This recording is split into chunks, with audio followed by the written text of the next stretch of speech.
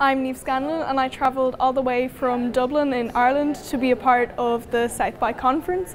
I think it's really amazing here and I'm speaking on a panel about why women in tech matter.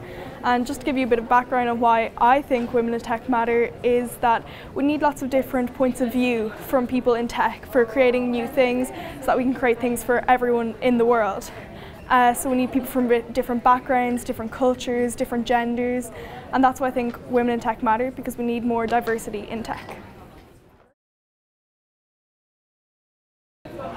One of my passions is coding and I want to show other girls how creative coding is because coding is all about using your imagination to create things. So it's just like art or music that you're making things but instead of using a pencil to write things, you're using your computer to write lines of code.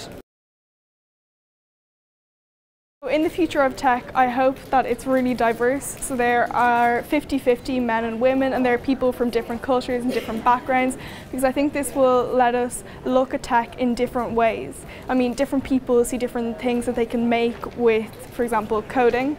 I've seen that young people from the Coder Dojo classes that I go to, they come up with really imaginative ideas. And I think this will happen in tech if we have a greater diversity of people doing it.